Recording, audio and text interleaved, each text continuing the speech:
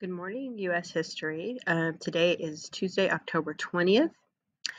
Um, I'm going to give you these notes in Screencastify, even though we met in Zoom briefly, uh, because it's just easier to do, and, and it's really hard when people can't when they have when they can't keep up with the note taking.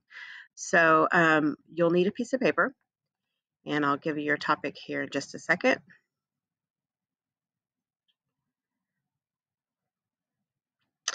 Um, first, make sure you have today's date. And then your topic is industrialization and the changing landscape. Give me a minute to write that. And then I want you to put the number 11.2. We're starting a new standard. Again, it helps me keep it all straight when I get it back and put it in the gradebook for you. So that's our topic, industrialization and the changing landscape. We're focusing in particular on the railroad today.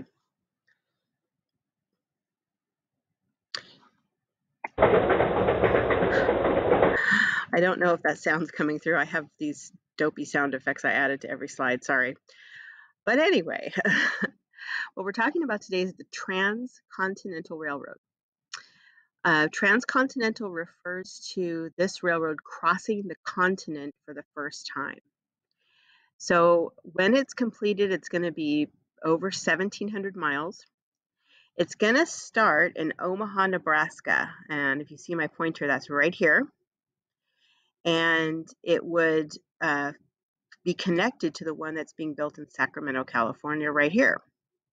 So what's going to happen is these two railroads are going to be building at the same time toward each other, and they're going to meet here at Promontory Point, Utah. So one's going to be building this way, one's going to be building this way, and they'll meet here. Once they do, that means that the East Coast and the West Coast of the United States are going to be connected for the first time. Okay.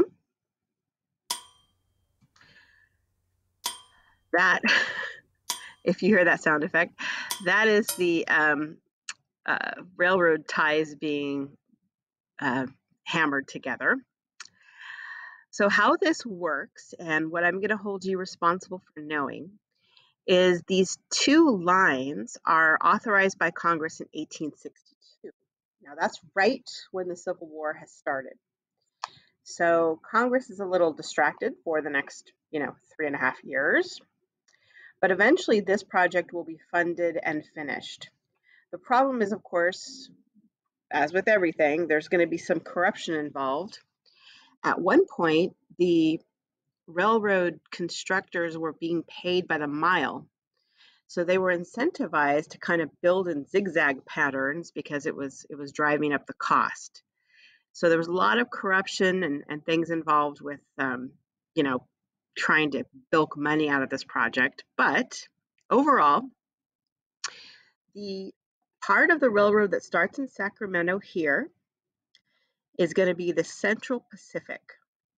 The Central Pacific starts here and is building toward the east. The other side that started in Omaha is called the Union Pacific. So the Union and the Central Pacific are being built at the same time toward each other. You can see them labeled right here. And the difficult part, of course, about this is mostly over here, Nebraska Iowa area. It's flat. Um, the building was, of course, very difficult, but it's not going to be anything compared to what's being encountered over here. You have the Rocky Mountains to get through here, which means you're going to have to blast away like the sides of mountains to get the railroad through. So it's extremely dangerous work to be building at either end, but especially here because you've got a lot of explosives being used in the construction of that railroad. So you have two railroads being built at the same time, basically towards each other, one being built from the west and one being built from the east. So the west had hardly any existing railroads, and obviously the east had a lot. Okay. The other uh, way is how this is funded.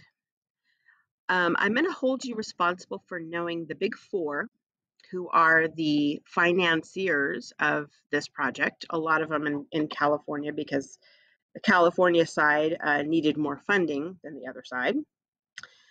Um, but they're Collis Huntington, Mark Hopkins, Leland Stanford, and Charles Crocker. Two of those names might sound vaguely familiar if you're a Californian. Huntington, we know Huntington Lake. Um, there's Huntington Boulevard in Fresno. And also Stanford. Stanford University in Fresno was founded by Leland Stanford. So you're going to hear these names quite a lot for our California references. Um, I'm obviously, I don't care if you know their, you know, first and middle initial. I just want you to know their last name so you can get them straight in your brains. So the big four are Stanford, Huntington, Hopkins, and Crocker. And you could hear the awesome, you know, cash register sound effect there uh, because these are the guys that in particular are going to finance the California side of the railroad. And of course, these guys become pretty prominent players in California after that point. Okay. So when the Civil War ends, there is an effort to get the railroad built even faster. So in 1865, Crocker um, is going to try to push to get more labor brought in to work on that western half of the railroad.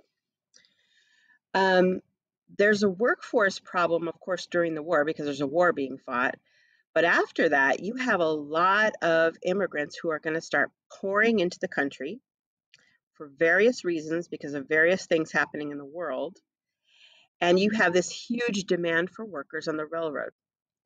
So on the western side, most of the workers are going to be Chinese immigrants.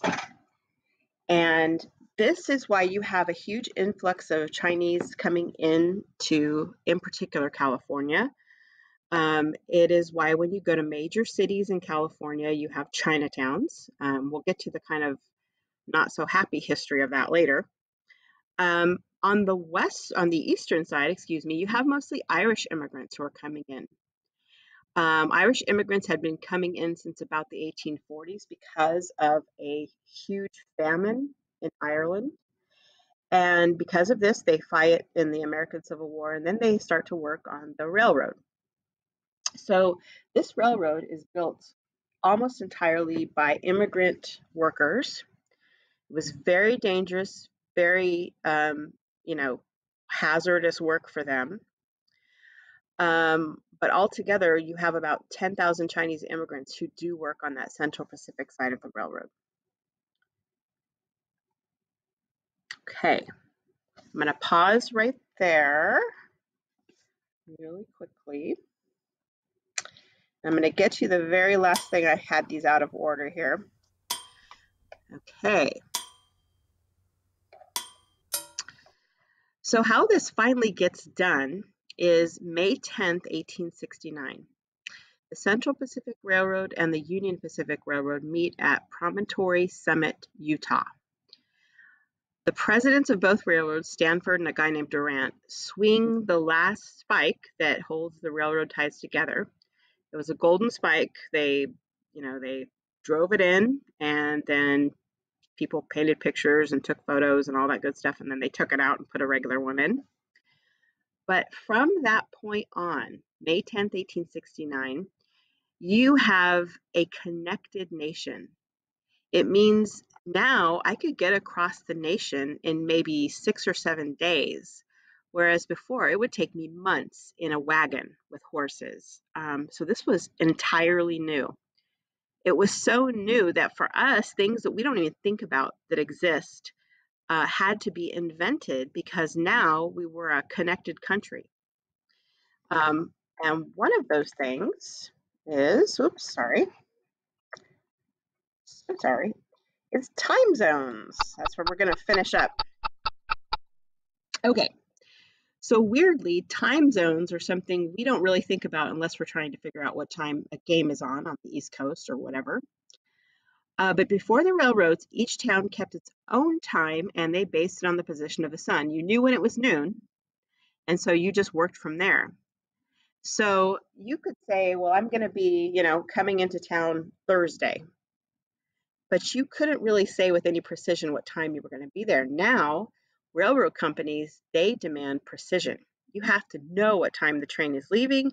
You have to know what time the train is coming.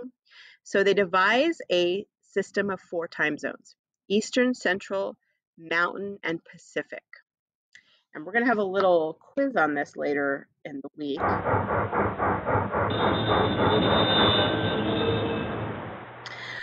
But most importantly, um, is going to be the impact on Native Americans. Because the plains are opening up and um, the land is required by the railroad companies, uh, Native Americans begin to be pushed out. They're going to be starting a long process in the 1860s of moving Native Americans out of the West and onto reservations. And it, of course, results in, you know, mass displacement and death for those people. We're going to be um, looking at something in a minute that's uh, kind of shows an example. Um, and also, of course, the buffalo they depended on for their survival starts to disappear. So right now, go ahead and pause your notes right here.